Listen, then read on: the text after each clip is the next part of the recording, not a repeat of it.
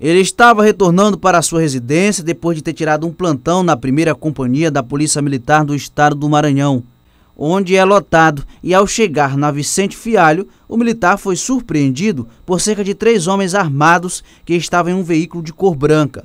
Um dos disparos ficou alojado no colete balístico que ele usava no momento em que foi atacado. Os autores do crime foram identificados como Júnior Parceiro e Maldini. Eles seriam integrantes de uma facção criminosa que atua naquela região.